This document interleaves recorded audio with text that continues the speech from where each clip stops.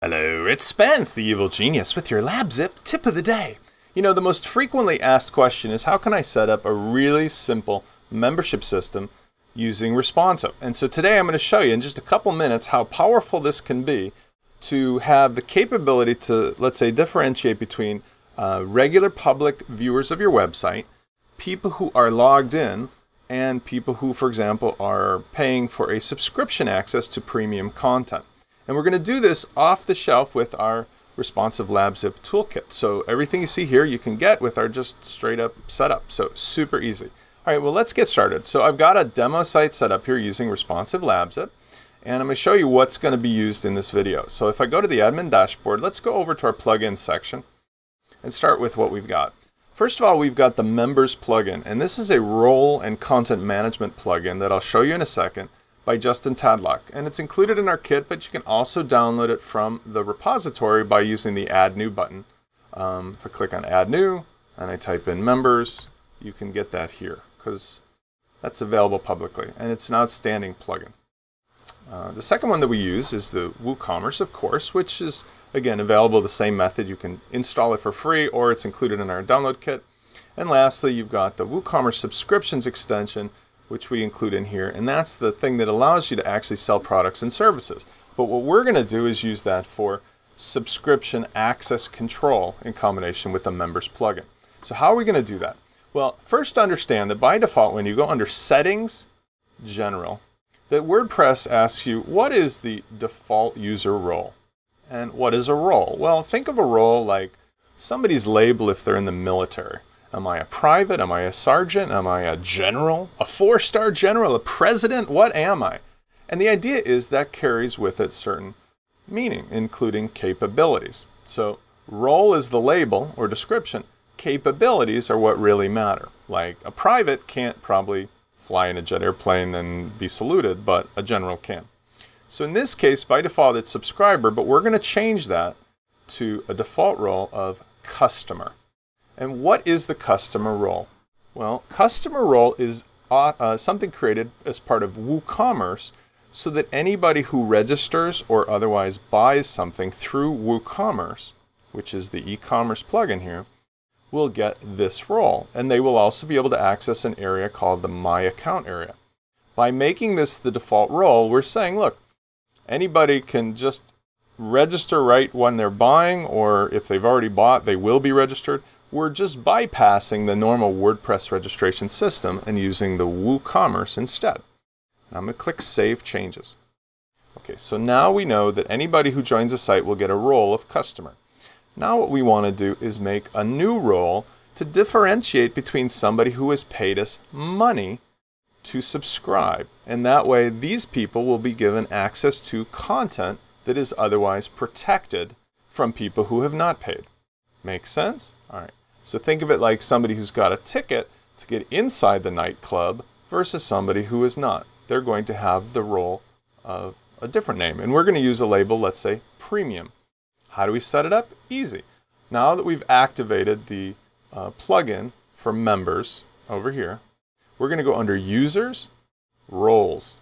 Now I want you to be very, very careful here. This is a very, very powerful, powerful tool, but it's also something that's going to make all this magic happen. Don't play around here unless you follow my directions or otherwise know what you're doing. You'll see that we've got the customer role here. If I was to look at the capabilities of that, let's take a peek inside and see what capabilities are there. And you'll notice that the capabilities are a series of checkboxes, and there's really only one that's important here that's checked. It just says read, which means basically they can read only. But remember, it's not so important that we differentiate what they can do with it. It's that we differentiate whether they've paid us money. And for that reason, we're going to create a new role to differentiate a name for people who've paid money. And I'm going to use the word premium. You can name it anything you want. In the role name, we can use only certain letters and characters. So you can't have ampersands and dollar signs and all kinds of crazy stuff.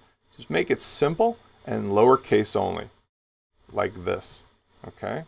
In the label, you can do it the way you want to see it. So I can put in the capital or I can even put in, you know, for paid members. This is what you're going to see in the dashboard to remind you of who those people are.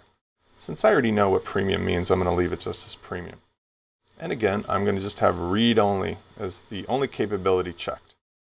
I click the add role button and I'm done. And if I go over here to the roles, you'll see that I now have a new role called premium as well as the original called customer. Now, next step is we're going to go to WooCommerce under the settings tab. Here we're going to go click under the subscriptions option at the top. Now you'll see that we've got some other things we can modify, but for this tutorial, all that's important is the roles area. See where it says subscriber default role? Well, we want to change that, remember, to being a customer. I'm sorry, we want to change that to being premium, premium, which is to say that the inactive subscriber will be a customer. That's just anybody who has ever registered or bought anything. The active or regular subscriber role will be premium. Okay. Now I'm going to save that. Now there's other things involved in here which we'll cover in another tutorial, but the concept I want to make sure you understand before you leave this page is what we've done is created a second role with the same capabilities as customer called premium, and that's what's going to be turned on or off when somebody pays for a subscription. Now let's create a subscription. Well, how do we do that? It's really simple. We go under products and we create a new product. I know that sounds counterintuitive. If you feel better about it, you can actually go under WooCommerce subscriptions and do the same thing where you click on add a subscription product. But I assure you, as you can see, it ends up doing the same exact thing. It allows you to create a new product. So let's start with the basics and I'm turning off those tooltips. Let's say we're going to create a one month subscription. Okay. So we'll call it one month subscription call it product. You don't have to call it product. You can call it anything you want, but it's something that should explain what it is. This is premium access for one month. Okay. Now we scroll down the page and we notice that the product data is selecting a product type of subscription. We also want to make sure that it's checking virtual because that will turn off some of the shipping options and things that you don't need or want the customer to have to deal with. Now the important thing is, what is the subscription price? So let's say, for example, we set this up that it was a payment of $10 per month. And we can also do by day, week, year. And we could say whether that changes. Maybe it's just a one month total length, or maybe it's two months or a year, or it's just perpetual. All right. You can also do an option of a sign up fee. Now, another thing is I'll notice here, or I notice here, that we haven't changed this from pounds, which is the default currency, to dollars. So we're going to do that in a second. So let's just leave it as 10 for now. And that way when we convert it to dollars, it won't have any effect. It'll just change to dollars. All right, so now what I'm going to do is I'm going to just click on Save Draft. It's really a good idea to have some kind of meaningful uh, featured image or icon. And in this case, we've got some special ones that uh, are available. We've actually created a plugin called Icondi that there's a, a free sample for that you can use. And I'll show you what these look like. So we've got some clever little options. You can just drag the icon in. And it's kind of fun and bouncy. And you can set that as the featured image, right? One month. Woo! Okay, click on Publish. This will actually make it live. Now, a couple of other things we have to do. I want to make sure that we change our permalink structure of this brand new site so that it works properly. I'm not really happy with the way it's set up by default. Permalinks basically allow you to change what shows up in the URL of the browser when people are looking for stuff. And since WordPress 3.0, the database has been optimized in a way that lets you use the post name, which is just the most direct way to do it because it reflects exactly what you put into the title of the post or page you create. And I prefer that and recommend that almost every single time. All right, so now we've got that we could go back over and check out our new product in the shop. And the way we can do that is to go to, oh, you know what, I take it back. We want to do one more thing. Remember I said we want to change the default currency. So let's go to WooCommerce settings and make sure that, see here, we're not in the United Kingdom. You don't hear me talking in British, do you? I'm not talking in British, I'm talking in American. Um, we're going to change this to United States, and in particular, Illinois. So United States, scroll down to Illinois. Then you put in your state because this will be important if you have to charge sales tax or report it.